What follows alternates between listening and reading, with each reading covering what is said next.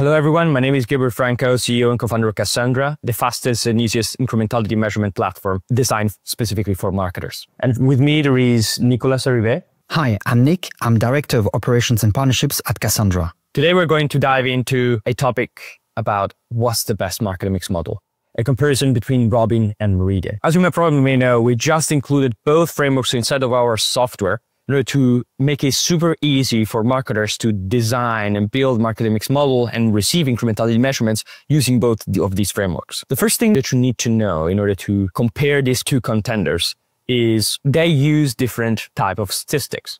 Robyn uses a frequentist methodology, while Meridian uses a Bayesian and hierarchical methodology. Now, in order to explain it, uh, we're going to do a really simple explanation, and uh, Nick is going to share it. Yes, so two different statistical framework to look at a similar challenge.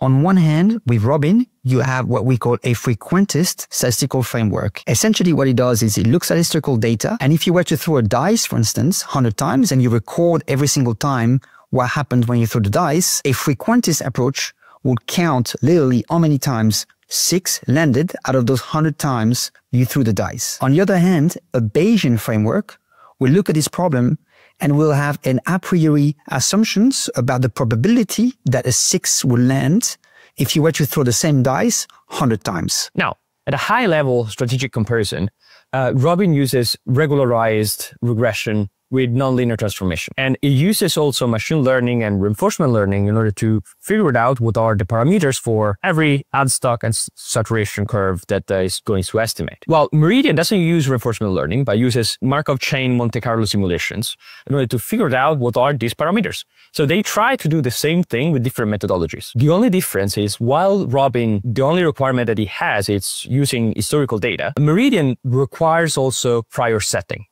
And priors in this context are technically the ROI belief that we have internally in the company that we need to include inside of the model on top of the historical data. As a best practice, in this case, we strongly suggest to use incrementality testing outputs in order to set these priors for Meridian because they represent the closest thing to ground truth that we can possibly estimate. Out of the box use of use and learning curve. I'm not going to explain how to use it in Cassandra because Cassandra was designed to make it extremely easy even for people that don't know anything about statistics or coding. Going to be sharing uh, how to use it by yourself as a self-service we're using the open source library. With Robyn, uh, developed by the marketing science team in Meta, it's available in R and in beta through Python API.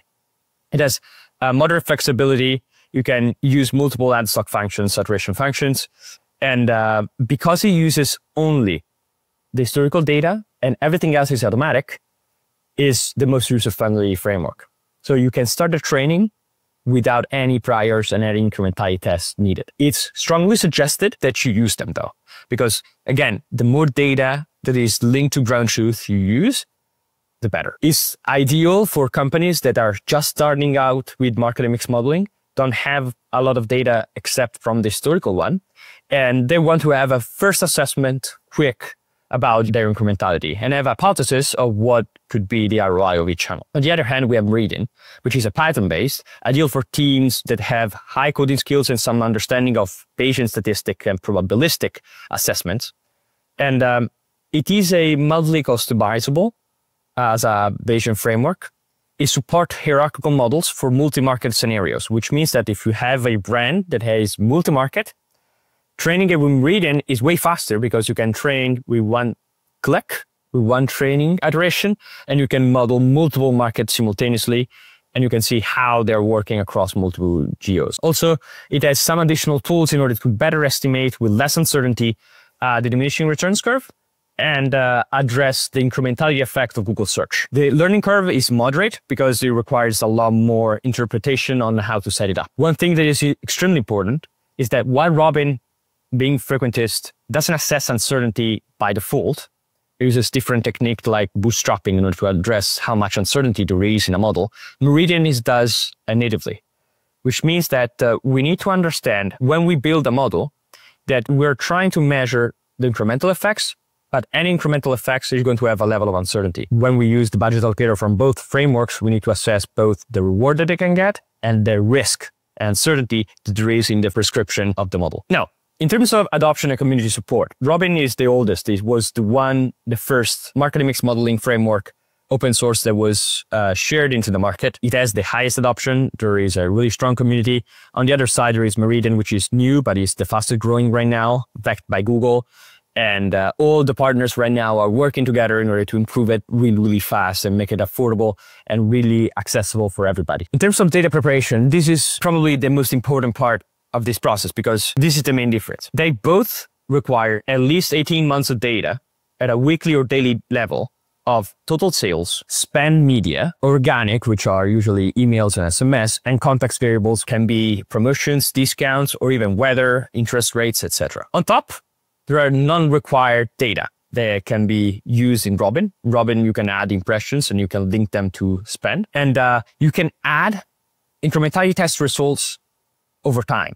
So you, every time you retrain the model, you can add incrementality test result in order to calibrate the model. This is really, really important to do because if not, the model can actually show you a wrong picture of what is actually happening in your marketing mix. On the other side, you add Meridian.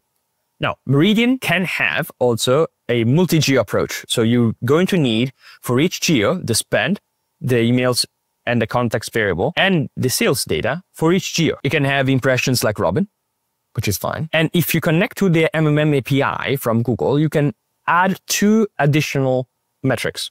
One is reach and frequency, which is additional data used to better estimate, like a estimate with less uncertainty, the diminishing returns curve of all Google Ads campaign. While on the other side, you have QVC, which is Google Query Volume. This is used in order to estimate the true incremental effect of Google search campaigns compared to the baseline sales that you would have generated without spending. And this is a really important factor because when you have Google search brand, you want to actually assess the true incremental effect that it generates instead of the sales that you would have generated without spending there. Meridian is calibrated with the closest estimation of ground truth measurement, because if not, it's going to show you wrong measurements, a picture that doesn't respect reality. Now, let's talk about data requirements and preparation. I'll give this uh, part to Nick. To make it really, really concrete, here is an example of the data set that you need to get started. So as Gabriel said, data set is the same for both Robyn and Meridian.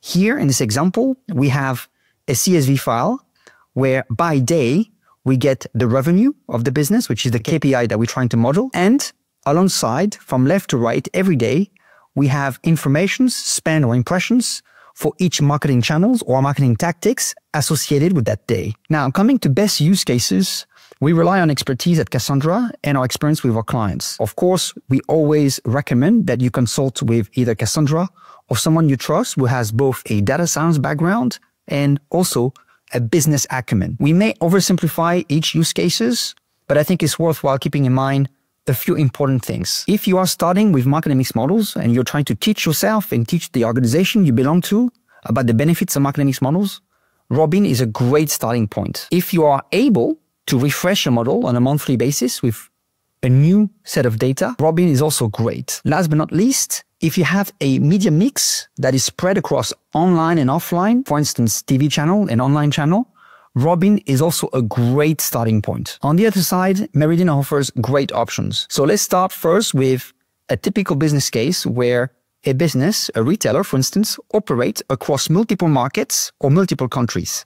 Meridian might be very well suited for that business case. Also, if your media mix or marketing mix is heavily weighted toward Google properties, meaning you spend a large share of your marketing mix on paid search and or YouTube, Meridian is also a great fit. Why? Because you can add reach and frequency data and search query volume to really understand with precision the incremental benefits that YouTube as a channel or paid search as a channel helps from a business perspective. Last but not least, I think it's important to note that if you have historical incrementality test results, Meridian is also a great option because you can use these as priors to the model. Always consult with Cassandra or a trusted partner to make a final decision. When it comes to project timeline, at Cassandra, we like to think about it along what you're seeing here on the screen.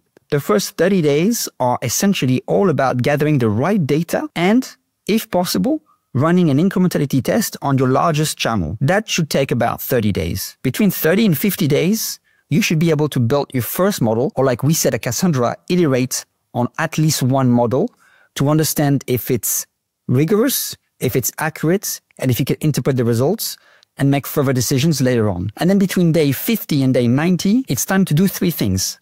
Refresh your model on a regular basis, calibrate your model, and make decisions about how you should allocate your marketing budget across different channels. To summarize very simply, first 30 days are all about data input, incrementality testing. 30 to 50 days, it's all about building at least one model and understanding if you can interpret the output. From 50 days onward, it's all about calibrating and making decisions.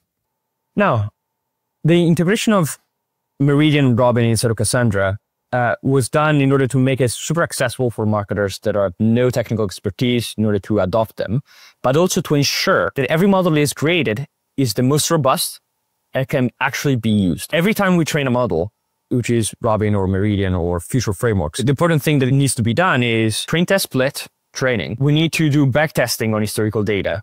We need to do model stability. And all of the things are used in order to answer the following questions. Is my model forecasting accurately? Does the incremental ROI estimation match the incrementality test? And also, is the estimation of the market mix model ROI for each channel stable over time? If we see that the estimation is not stable, we automatically select those channels as the ones that need to be calibrated. And what it happens when we calibrate them using incrementality tests is we reduce the uncertainty in the overall model. So we reduce the risk in the budget allocator suggestions that they can actually provide. On Meridian is incredibly important, incredibly useful to have a multi-geo model because it allows you to have less uncertainty in the estimation of the overall sales that it generates. And if you add reaching frequency, it's super nice because uh, you're going to see diminishing return curve with way less uncertainty. Thank you a lot for staying with us on this video. Hopefully these informations are useful. Looking forward to see you inside of Cassandra. Thanks again for listening. At Cassandra,